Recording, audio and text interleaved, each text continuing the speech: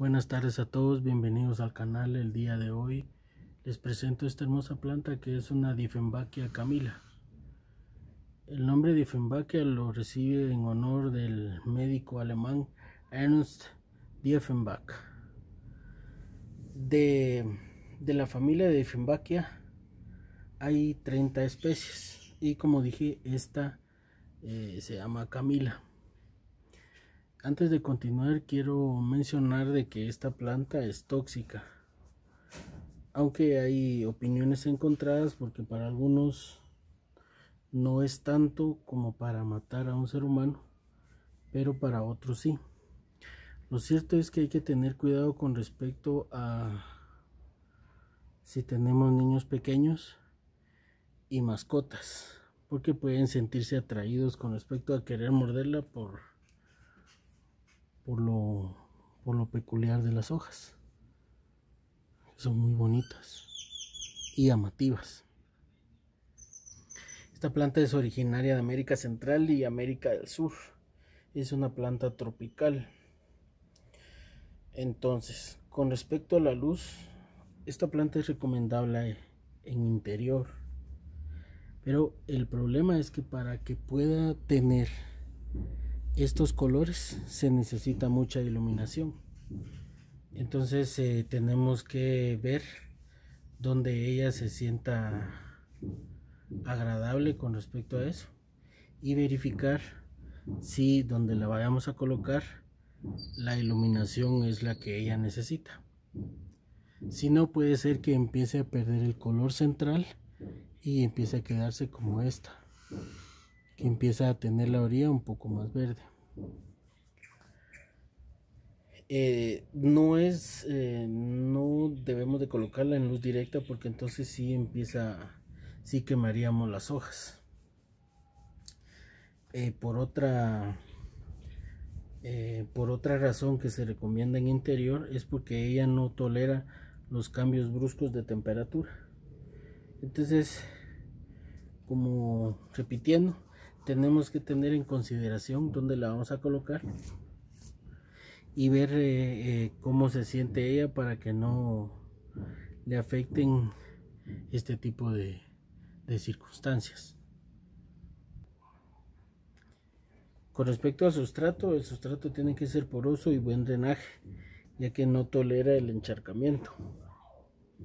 Entonces, y eh, eh, al menos eh, yo le agrego eh, materia orgánica para que pueda, pueda ayudarle con respecto a, al abono. Con respecto al riego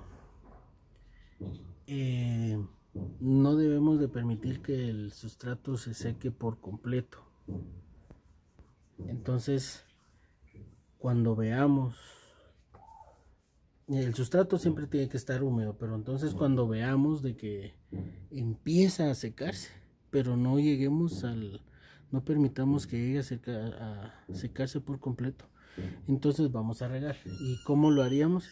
Regaríamos abundantemente hasta que el agua drene por los orificios inferiores de la maceta y de ahí dejaríamos hasta que como les vuelvo a repetir el sustrato esté casi casi seco. Las plagas eh, es atacada por la araña roja el pulgón la cochinilla algodonosa y hongos. Eh, en el caso mío me ha afectado más la cochinilla algodonosa. Pero eh, lo he detectado a tiempo y he logrado combatirlo. El abono. Eh, esta planta es eh, tendríamos que abonarla en los meses cálidos, podríamos decir primavera, verano.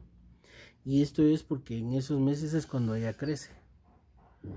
Eh, ya en el hablando de invierno, pues la planta tendría que ser abonada posiblemente una vez cada mes o cada dos meses.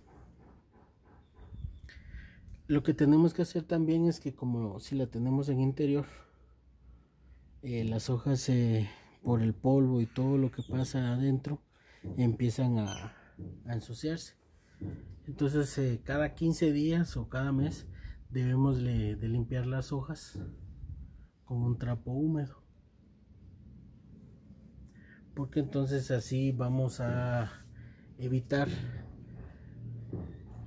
eh, que tenga alguna plaga vamos a mantenerla brillante y que las hojas se mantengan sanas.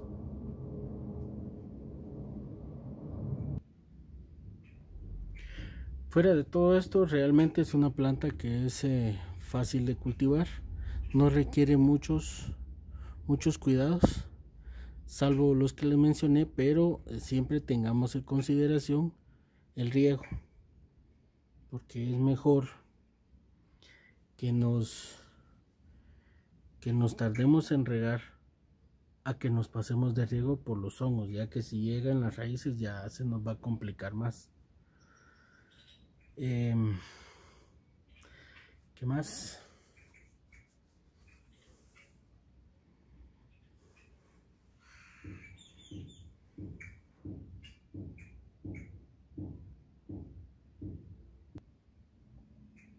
Ah, sí. Eh, tengo, tengo un amigo que tiene una planta de estas y se le llenó de hongos porque él lo que hacía era, eh, como es una planta tropical, entonces eh, por lo menos una vez a la semana debemos de pulverizar las hojas para que para evitar la, la sequedad dado que la tenemos en interior. Pero lo que él hacía es que mojaba las hojas. Y el procedimiento correcto tiene que ser pulverizando. solo lo que vamos a hacer es que tenga un cierto contacto con el agua y ya no vamos a seguir. Porque, como repito, no tiene que mojarse, solo pulverizarse para que la planta se sienta a gusto. Porque lo que tenemos que entender es de que la planta tenemos que adaptar nuestro entorno a la planta y no la planta al entorno porque entonces así no, no, no va a sobrevivir. Entonces es una planta relativamente muy hermosa. Y con esto con estos cuidados la vamos a, la vamos a mantener muy bonita. Entonces que Dios Todopoderoso los bendiga y los cuide junto a sus familias y si Él lo permite les traeré nuevo contenido más adelante. Hasta luego.